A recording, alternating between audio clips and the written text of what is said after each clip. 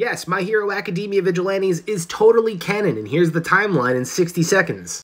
The official timeline for Vigilantes begins seven years prior to My Hero Academia, somewhere in Osaka.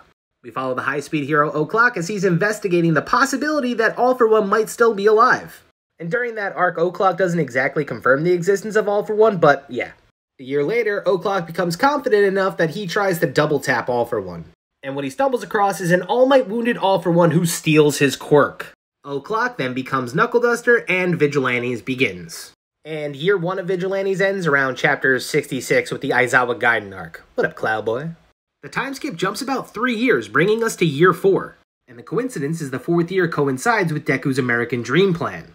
Then in the final chapter of Vigilantes, we find out Koichi has been in the United States for about a year. That means the final chapter of My Hero Academia Vigilantes takes place during the Forest Training arc.